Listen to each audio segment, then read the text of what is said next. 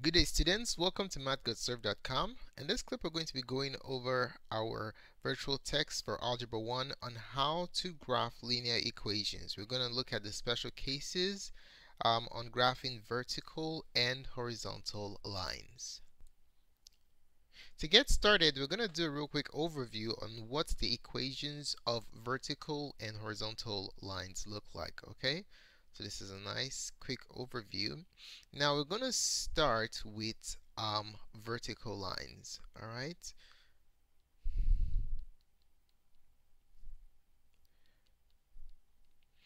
So vertical lines have the form x equals some constant. Okay, so we can say x equals h.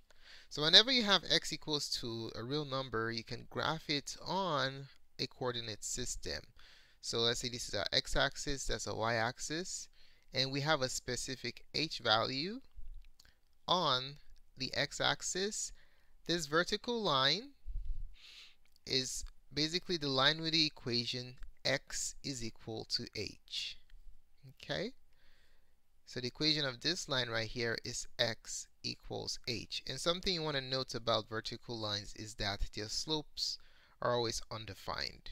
Okay? Now, how about horizontal lines? What does the equation of horizontal lines look like? The equation of all horizontal lines can be given by the form y equals some constant k. Okay, so let's say this is our y-axis and our x-axis. To graph a horizontal line with the equation y equals k, we'll identify the k value on the y-axis and then we're going to proceed to draw a horizontal line through that point. Okay, so this line, this horizontal line I just drew, has the equation uh, y equals k. Alright? So just to specify what the slopes are real quick, for vertical lines, the slope, which is equal to m, is undefined. This is because when you you're calculating your run, your run is going to be the same, which forces you to divide by 0. And you know when you divide a number other than 0 by 0, the result is undefined. In a horizontal line case, the slope uh, m is equal to 0. Alright, this is because you have um, a constant run with no rise, so you have 0 over um, a numerical value that's non-zero, and then you're always going to have 0 as your final answer. Now, a common mistake students make is they always interchange x and y equations. So what's an easy way to remember which the, the orientation of the x equals a constant line and y equals a constant line? You can think about the analogy of skiing, okay?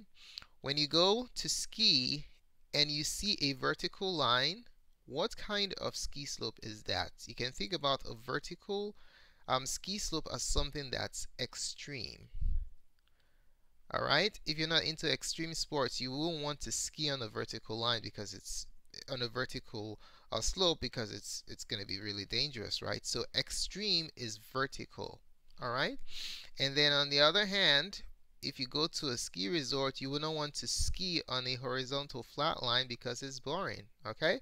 And what do you do when you are bored? You yawn, all right? So you have a boring line, which is the y line, and the extreme line, which is the vertical line, that's x, okay? So don't forget x is vertical line, and then y is y line. Now another thing you want to keep in mind is that the equation of the y-axis is actually x equals 0. And the equation of the y-axis is y equals 0. So the equation of lines and the name of the axis are two entirely different things. Alright, don't say because the y-axis is, is oriented vertically, the equation is y equals a constant. That's incorrect. Even though this is the y-axis, the equation is x equals 0. And even though the um, x-axis, a horizontal line, is called the x-axis, the equation is y equals 0. Okay, so x equals 0 for all vertical lines with extreme or undefined slope. And then for the boring flat 0 slope, y equals 0. Alright, so let's keep that in mind. Alright, so the ins instructions for the example that we're going to be doing is to graph the given equations. Okay, so graph the given equations. Alright, question 1. Let's say we have the line y equals 3 what does the graph look like? So you have y equals 3. Let's label our axis. Um, this is our y-axis and this is our x-axis. Now, is this going to be a horizontal or vertical line? So remember your vertical line is extreme. Okay, so this is the x equals um, h case. And then the horizontal line is a boring line, y equals k. So in this particular example, we're looking at the boring case. It's going to be a horizontal line going through 3. Okay, so we identify 3 on our coordinate system. That's 3 right there. And then let's make our line blue. And then we're going to proceed to draw a horizontal line through um, that point. Alright, so this line right here is going to be the line that has the equation uh, y equals uh, 3. Okay, let me color code it real quick. Make it blue, double-sided. Alright, so that's the equation of the line that's given above. Let's go ahead and write down what the name of the equation is. y equals 3. Alright, now let's consider the another example, question 2. What if we have the equation x equals negative 2? Let's go ahead and graph this. So we label our coordinate system y and x. Now what kind of line do we have here? We have x equals a number, so remember your orientation when you have x equal to, you're dealing with an extreme slope case, x equals h. And then when you have a horizontal line, that's when you have y equals k. Alright, so in this particular example, we have x equals a constant. So we're looking at a vertical line going through uh, the x value negative 2. Okay, so we identify negative 2 on our coordinate system. Let's make this blue. So that's 1, 2. That's uh, negative 2. Now on the x-axis, sorry. So we're looking at the x-axis. So 1, 2. So that's negative 2 on the x-axis. So we're going to proceed to draw a vertical line through um, x equals negative 2. Alright, so let's go ahead and draw the line. Let's make it blue. So your line is going to look something like this. Okay? So this is the line with equation x equals negative 2. Let's proceed to write down the equation of the line x equals negative 2. So that's basically how you graph um, vertical and horizontal lines. Alright, let's consider uh, question number uh, 3 and 4. In these two problems, the task is to write the equation write the equation of the lines graphed below. Okay, so let's take a look at the first one. Number three, we have a vertical line with undefined slope going through x equals 4. Okay, so we have a vertical line going through x equals 4, so that tells us what kind of line it is. Think about what the slope of this line is. What kind of slope is this? This has an undefined slope. This is an extreme line, okay? So the answer to question number 3 is going to be x equals 4. Since this graph always has a constant value of 4, regardless of whatever the y value is. Okay, it's always 4, 4, 4, 4, 4 for the x. Now let's take a look at um, number 4. What's the equation of that line? Now in this case we have a horizontal line with zero slope. We can think about this as a boring line since it's horizontal. Um, is going through the y-axis and it's constantly attaining a specific y value namely negative 1. So in this case, the equation of the line is y equals negative 1 since it's of the form y equals k, the general equation for horizontal lines. Okay, so these two examples basically show you how to generate equations of lines given their graphs. So how well did you master the contents of this presentation?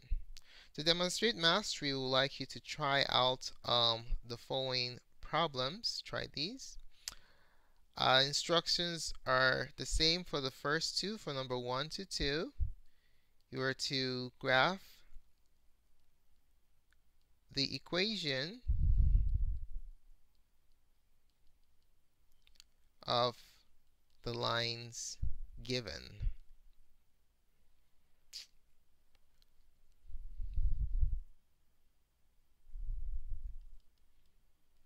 So number one, let's say you have the equation y is equal to negative 3.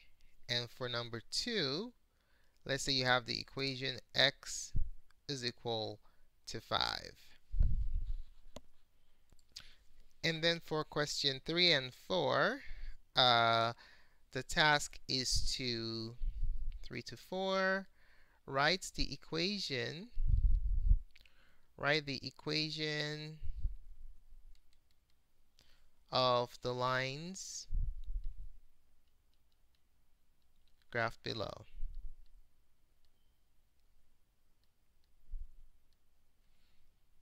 Alright, so for question, so we have this is question number four.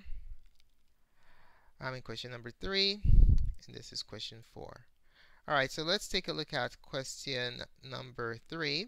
Let's say we have a line going through a vertical line going through this value right here and this one we have a horizontal line going through this value right here and those values have the following intercepts let's say this is negative 1 right here and this right here is 1 2 positive 2 Alright, so go ahead and pause this video and we'd like you to try out these four problems. When you're done, you click on play in order to see what the answers are.